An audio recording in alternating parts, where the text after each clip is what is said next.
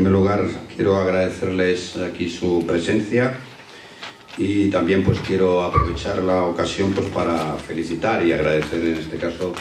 a las empresas que se han presentado a este segundo certamen en el fomento del emprendimiento en nuestra ciudad y por supuesto pues felicitar a los que posteriormente pues vamos eh, también a premiar por su excelente trabajo. Eso no significa que el resto eh, no tengan también el merecimiento por parte eh, del equipo de gobierno que presido y de la corporación que presido a su loable trabajo.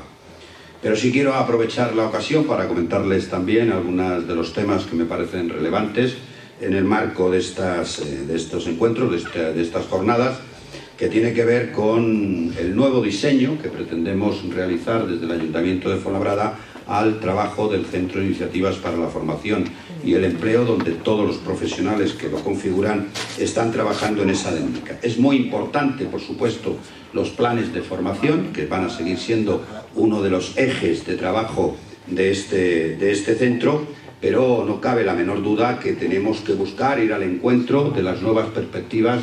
que se abren en el marco local para eh, trabajar eh, más cerca de lo que significa el compromiso con, de nuestra ciudad con los emprendedores y los autónomos de Fuenlabrada. Aquí quiero hacer un paréntesis. Eh, hace unos días los medios de comunicación, a través de organizaciones de autónomos y de emprendedores, reconocían que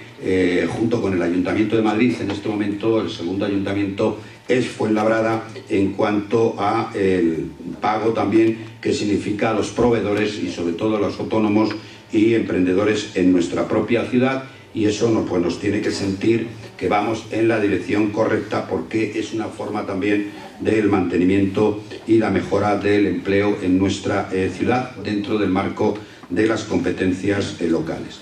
Quiero también indicarles que en este momento, aparte de ese nuevo diseño, esa nueva orientación del Centro de Iniciativas para la Formación y el Empleo que se ha iniciado eh, al principio de esta legislatura y que yo tengo que agradecer profundamente a todos los profesionales que trabajan eh, en este centro su colaboración y su enorme esfuerzo y su trabajo en definitiva para adaptarlo a las nuevas necesidades del mercado eh, laboral de nuestro país, de nuestra comunidad y por supuesto de Fuenlabrada.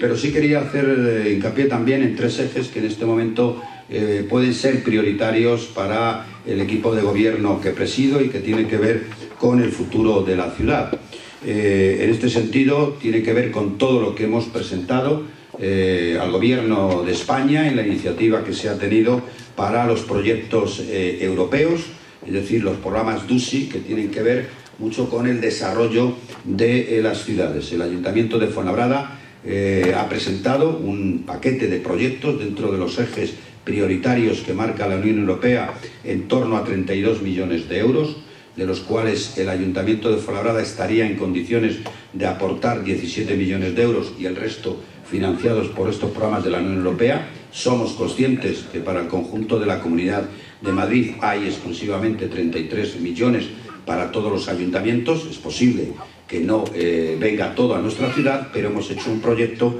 que de no ser así, eh, esa financiación total, sí estaríamos en condiciones de cara al futuro que nuestra ciudad eh, por sí solo pudiéramos abarcar muchos de esos proyectos. Esto es debido a que, como bien conocen todas y todos ustedes, Fuenlabrada se encuentra en este momento en el sexto lugar de las grandes ciudades españolas con menos deuda, lo cual nos permitiría, si el Ministerio de Hacienda nos lo permite,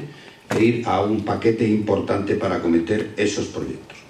En segundo lugar, eh, una de las mm, acciones que ya hemos trasladado a otras eh, administraciones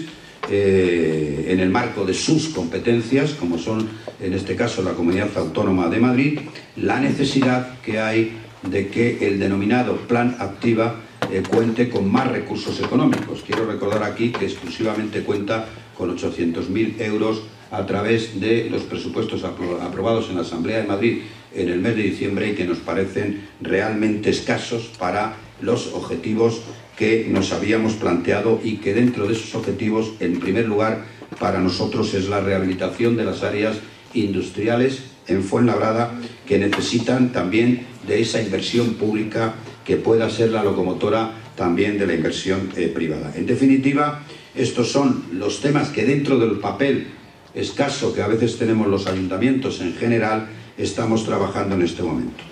Por lo tanto, esto es lo que quería yo hoy por la mañana trasladarles en el marco de estas eh, jornadas. Para eso queremos contar con el movimiento asociativo, eh, con los interlocutores sociales de nuestra ciudad, como son los sindicatos, a los cuales les agradezco a algunos que estén presentes hoy aquí, y por supuesto a las asociaciones empresariales de nuestra ciudad, en las cuales en todo momento queremos seguir eh, colaborando en su desarrollo, en sus diferentes eh, programas eh, de actuación, porque en definitiva será lo mejor también para esta ciudad. Por mi parte, nada más, terminar como empezaba, volviéndoles a reiterar mi agradecimiento por su presencia hoy aquí, animarles también a que utilicen los servicios públicos eh, como es el Centro de Iniciativa para la Formación, el empleo en cuantas necesidades tengan eh, todas y todos ustedes en el marco de la empresa y con el objetivo de crear empleo y por supuesto también pues felicitar en este caso a los reconocimientos que hoy por la mañana pues vamos a hacer aquí. Nada más y muchas gracias.